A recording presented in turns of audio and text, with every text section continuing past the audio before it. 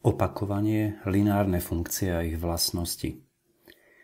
V tomto učive je cieľom zopakovať si to, čo sme sa učili o lineárnych funkciách už v minulom školskom roku.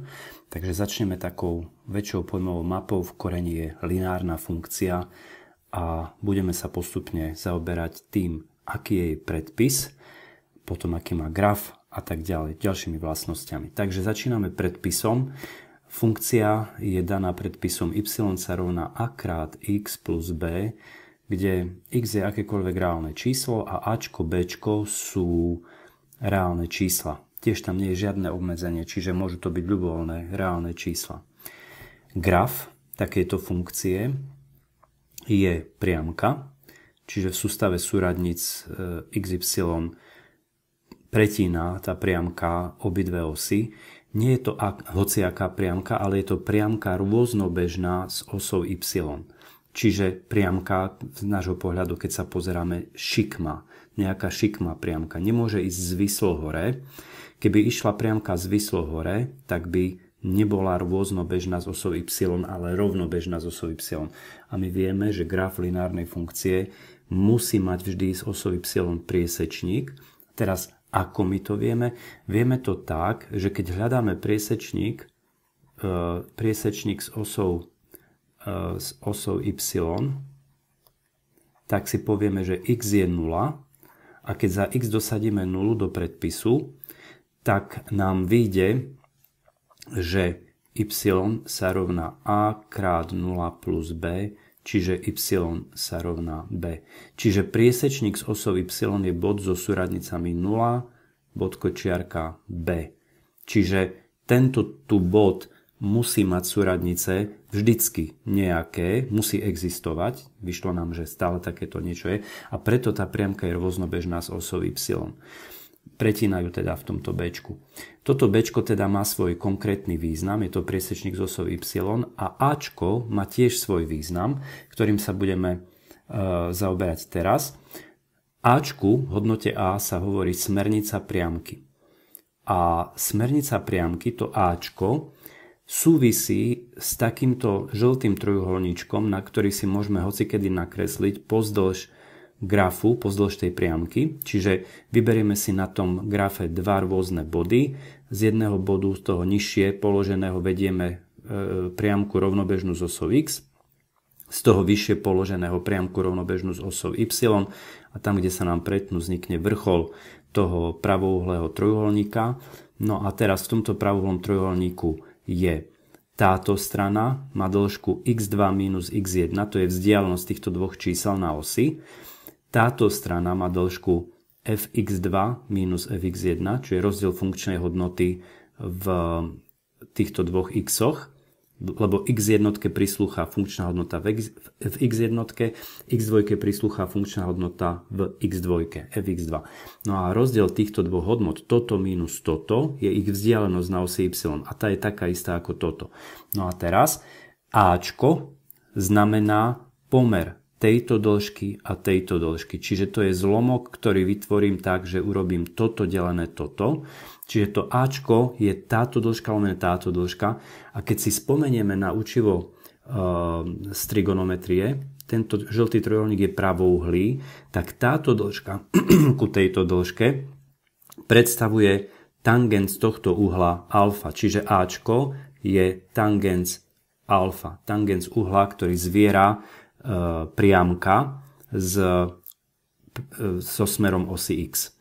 No a teraz toto, že platí, že to je fx2 minus fx1 lomené x2 minus x1, to možno ľahučko vidieť, lebo to ačko, skúsme sa pozrieť, či sa naozaj tomuto rovná. Keď za fx2, fx2 si uvedomíme, že je a krát x2 plus b a za fx1, keď dosadíme že to je a krát x1 plus b, tak keď odčítam fx2 minus fx1, tak budem mať a krát x2 plus b minus a krát x1 minus b, čiže tieto odčítam obidva členy, lomené x2 minus x1, no a vidím, že b vypadnú a zostane mi, že to sa rovná a krát x2 minus x1 lomené x2 minus x1 čo vlastne po vykrátení nám dáva Ačko. Čiže táto vec je naozaj platná.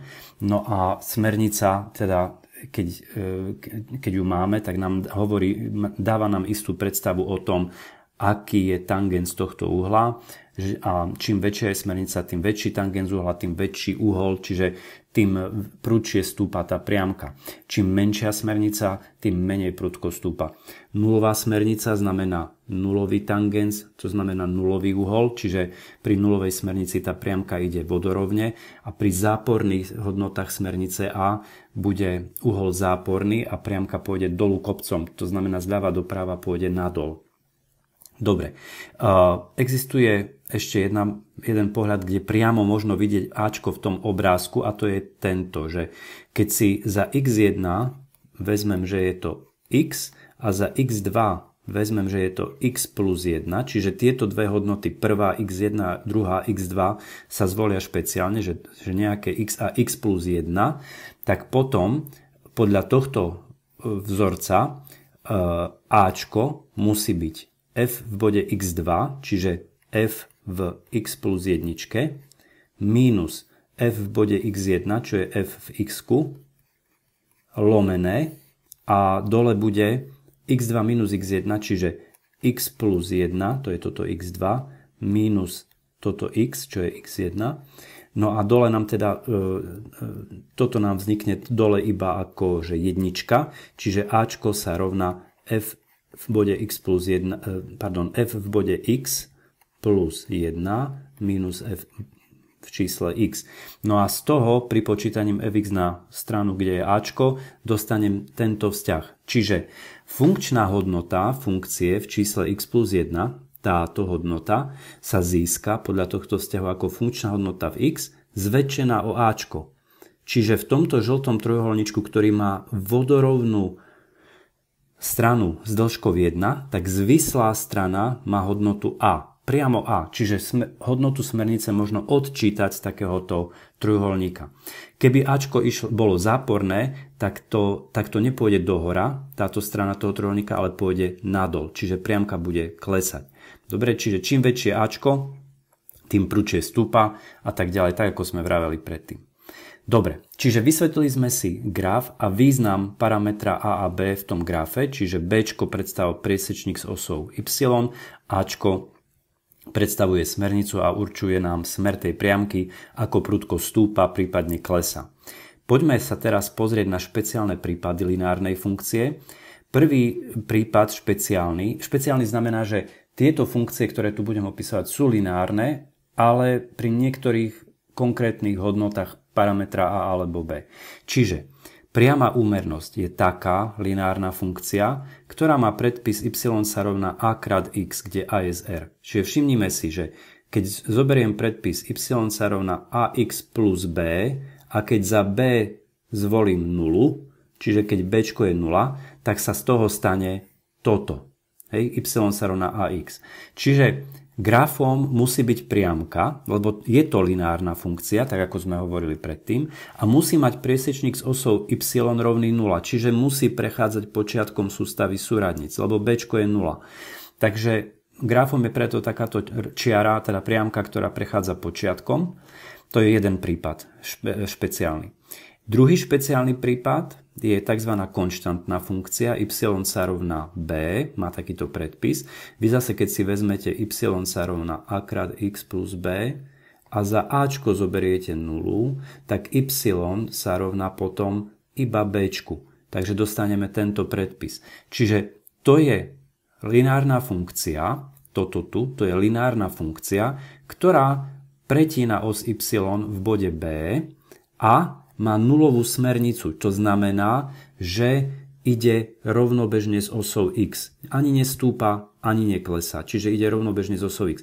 Čiže je to takáto konštantná funkcia. Konštantná funkcia znamená, že pre všetky x bude mať tú istú hodnotu b, čiže y sa rovná b nezávisle od x.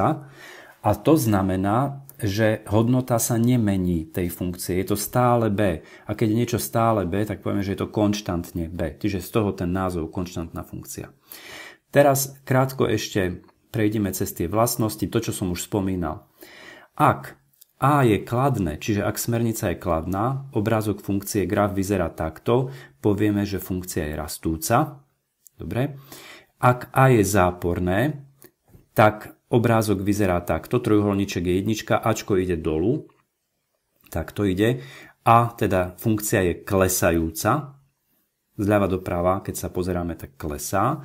No a napokon, keď A je rovné nule, tak funkcia je konštantná.